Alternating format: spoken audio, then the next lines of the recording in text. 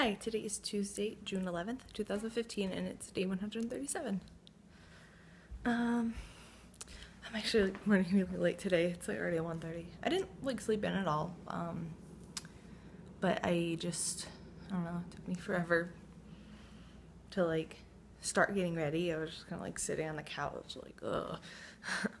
um, Parker decided to wake me up this morning at like seven or eight o'clock and oh my god i was so tired and he knocked all my earrings off. And so i wanted to pick him up before um like before like in the morning when i would forget that he knocked them off and then i wouldn't be able to find them when i wanted to put them in. Yeah so that was fun. So i kicked him out. So when my alarm started going off he came into my or he was at outside my door just meowing at me. Um yeah he's crazy. Buster's yawning. Hi bud you doing? You're cute.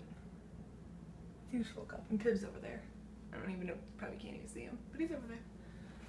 Um, yeah, so I wanted to do this before I went to work um, because it's finally a day I actually have the opportunity to do that, which is really nice. It's really warm today, that's why I'm in like kind of like tank toppy kind of things.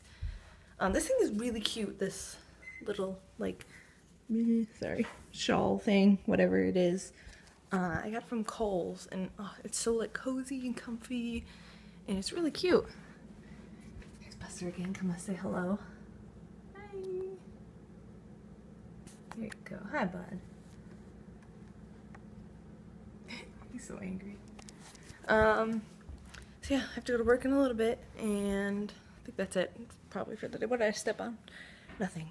Um, the cat, the kitten, Pibb, has destroyed. Okay, focus, please. Or just you could not. There we go.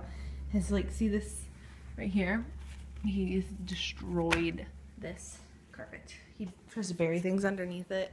So like if you step on it, it feels like you're stepping on like a cat's tail or like a toy, and yeah, that's fun, right?